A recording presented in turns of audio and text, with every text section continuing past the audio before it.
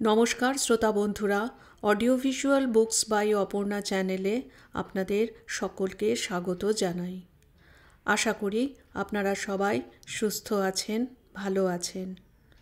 আজ আপনাদের কাছে পাঠ করে শোনাব রবীন্দ্রনাথ ঠাকুর রচিত শান্তিনিকেতন গ্রন্থের অন্তর্গত প্রবন্ধ প্রকৃতি। এই প্রবন্ধটি রবীন্দ্র রচনাবলীর ত্রয়োদশ খণ্ডে অন্তর্গত। প্রবন্ধ, প্রকৃতি। প্রকৃতি ঈশ্বরের শক্তির ক্ষেত্র আর জীবাত্মা তাঁর প্রেমের ক্ষেত্র। একথা বলা হয়েছে।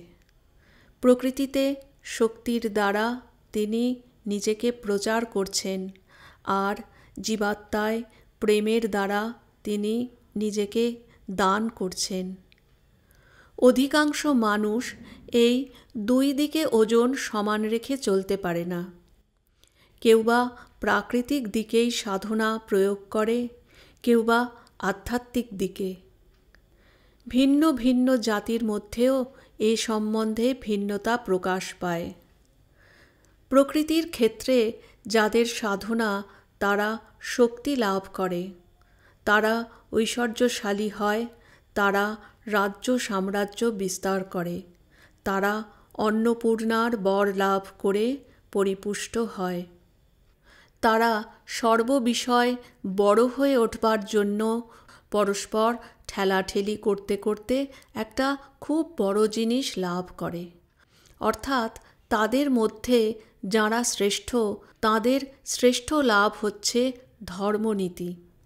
কারণ বড় হয়ে উঠতে গেলে শক্তিশালী হয়ে উঠতে গেলেই অনেকের সঙ্গে মিলতে হয়।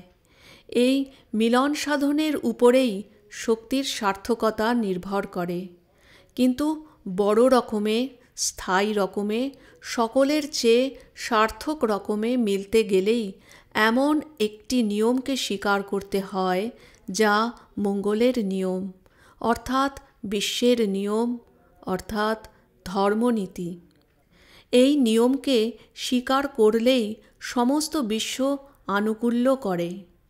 যেখানে অস্বীকার করা যায়, সেইখানেই সমস্ত বিশ্বের আঘাত লাগতে থাকে। সেই আঘাত লাগতে লাগতে কোন সময় যে ছিদ্র দেখা দেয়, তা চোখেই পড়ে না। অবশেষে বহু দিনের কীর্তি দেখতে দেখতে ভূমিষ্যাত হয়ে যায়। যাঁরা শক্তির ক্ষেত্রে বিশেষভাবে কাজ করেন তাদের বড় বড় সাধকেরা এই নিয়মকে বিশেষ করে আবিষ্কার করেন। তাঁরা জানেন নিয়মই শক্তির প্রতিষ্ঠাস্থল। তা ঈশ্বরের সম্বন্ধেও যেমন, মানুষের সম্বন্ধেও তেমনি। নিয়মকে যেখানে লঙ্ঘন করব, শক্তিকে সেইখানেই নিরাশ্রয় করা হবে। যার আপিসে নিয়ম নেই, সে অশক্ত কর্মী, যার গৃহে নিয়ম নেই, সে অশক্ত গৃহী। যে রাষ্ট্র ব্যাপারে নিয়ম লঙ্ঘন হয়, সেখানে অশক্ত শাসনতন্ত্র। যার বুদ্ধি বিশ্ব ব্যাপারে নিয়মকে দেখতে পায় না, সে জীবনের সর্ববিষয়েই অশক্ত, অকৃতার্থ, পরাভূত। এই জন্যে যথার্থ শক্তির সাধকেরা নিয়মকে বুদ্ধিতে স্বীকার করেন। বিশ্বে স্বীকার করেন, নিজের কর্মে স্বীকার করেন। এই জন্যেই তাঁরা যোজনা করতে পারেন, রচনা করতে পারেন, লাভ করতে পারেন। এই রূপে তাঁরা যে পরিমাণে সত্যশালী হন, সেই পরিমাণেই ঐশ্বর্যশালী হয়ে উঠতে থাকেন।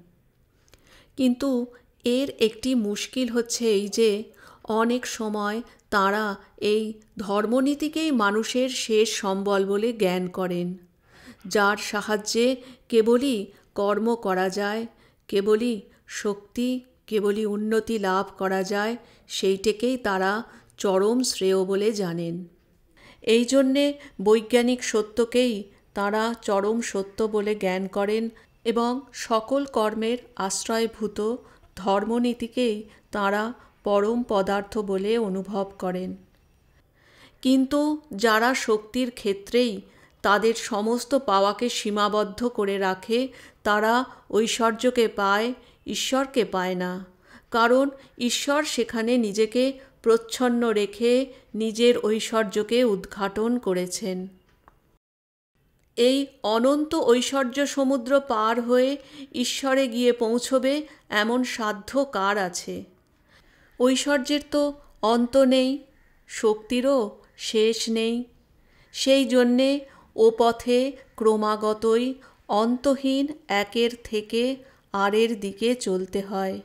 সেই জন্যেই মানুষ এই রাস্তায় চলতে চলতে বলতে থাকে, ঈশ্বর নেই, কেবলই এই আছে এবং এই আছে, আর আছে এবং আরও আছে। ঈশ্বরের সমান না হতে পারলে তাকে উপলব্ধি করব কি করে?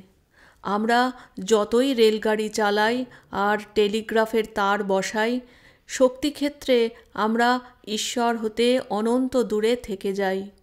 যদি স্পর্ধা করে তার সঙ্গে প্রতিযোগিতা করবার চেষ্টা করি, তাহলে আমাদের চেষ্টা আপন অধিকারকে লঙ্ঘন করে ব্যাস কাশির মতো অভিশপ্ত এবং বিশ্বামিত্রের সৃষ্ট জগতের মতো বিনাশপ্রাপ্ত হয়। এই জন্যেই জগতের সমস্ত ধর্ম সাধকেরা বারংবার বলেছেন, ঐশ্বর্য পথের পথিকদের পক্ষে ঈশ্বর দর্শন অত্যন্ত দুঃসাধ্য। অন্তহীন চেষ্টা চরমতাহীন পথে তাদের কেবলই ভুলিয়ে ভুলিয়ে নিয়ে যায়। অতএব ঈশ্বরকে বাহিরে, অর্থাৎ তাঁর শক্তির ক্ষেত্রে কোনো জায়গায় আমরা লাভ করতে পারি নে সেখানে যে বালুকণাটির অন্তরালে তিনি রয়েছেন, সেই বালুকণাটিকে নিঃশেষে অতিক্রম করে এমন সাধ্য কোনো বৈজ্ঞানিকের, কোনো যান্ত্রিকের নেই। অতএব শক্তির ক্ষেত্রে যে লোক ঈশ্বরের সঙ্গে প্রতিযোগিতা করতে যায়, সে অর্জুনের মতো ছদ্মবেশী মহাদেবকে বান মারে। সে বান তাকে স্পর্শ করে না, সেখানে না হেরে উপায় নেই। এই শক্তির ক্ষেত্রে আমরা ঈশ্বরের দুই মূর্তি দেখতে পাই। এক হচ্ছে অন্নপূর্ণা মূর্তি। এই মূর্তি ঐশ্বর্যের দ্বারা আমাদের শক্তিকে পরিপুষ্ট করে তোলে। আর এক হচ্ছে করালি কালী মূর্তি। এই মূর্তি আমাদের সীমাবদ্ধ শক্তিকে সংহরণ করে নেয়। আমাদের কোনো দিক দিয়ে শক্তির চরমতায় যেতে দেয় না। না টাকায়, না খ্যাতিতে, না অন্য কোনো বাসনার বিষয়। বড় বড় রাজ্য সাম্রাজ্য ধূলিসাৎ হয়ে যায়।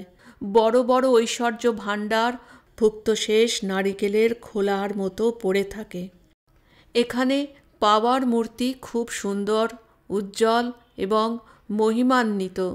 কিন্তু যাওয়ার মূর্তি হয় বিষাদে পরিপূর্ণ, নয় ভয়ঙ্কর।